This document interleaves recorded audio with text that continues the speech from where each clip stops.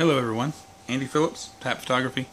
Um, so, something that's not new to anybody, but something we need to pay very close attention to, and that is shop local, right? We want people to come to us, yeah?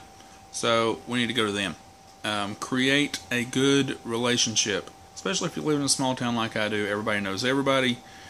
You need to be patron of the people who are local so that they will come to you as well. Um, it's great practice. Um, I know I've seen seminars and webinars and stuff, you know, saying, um, you know, about networking and um, keeping uh, keeping your face out there, and that's all so true. Um, we've got a um, a local restaurant. It's fantastic.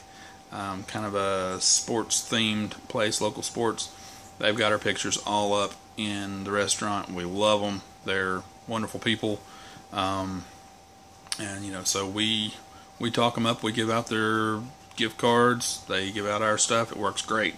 Um, so go to your local shops any chance you get.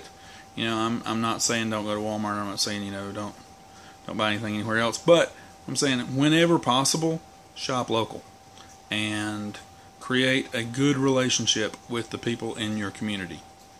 It is it's invaluable. I mean, it will it uh, it helps everything, especially if you live in a small town like we do, where everybody knows everybody.